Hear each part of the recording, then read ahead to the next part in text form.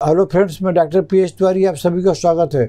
दोस्तों, आज मैं आपको गैंग्रीन की एक सिंगल दवाई बताने जा रहा हूँ। चलिए शुरू करते हैं। दोस्तों, गैंग्रीन जो है, यहाँ से यहाँ पर ब्लड सप्लाई ख़त्म हो गई तो यहाँ पर दर्द हो गया, डॉक्टर को मजबूरन काटना पड़ा। फिर कुछ दिन बाद में, फिर यहाँ से यहाँ तक सप्लाई बंद हो गई, फिर काटना पड़ा।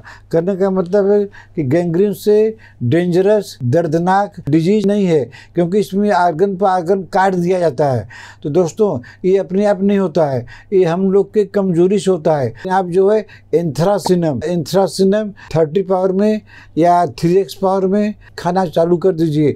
अगर आपको कहीं पर घाव हुआ है तो आप जो है केलेंडुला तो लगाइए ही, लेकिन एंथ्रासिनम केलेंडुला का बाप है। आप जो है एंथ्रासिनम थर्टी चार चार बूंद करके दिन में तीन बार लगातार लेते रहिए और अपने आप को गैंग्रीन से बचा दीजिए। आशा आपको हमारा आज का वीडियो पसंद आएगा थैंक यू।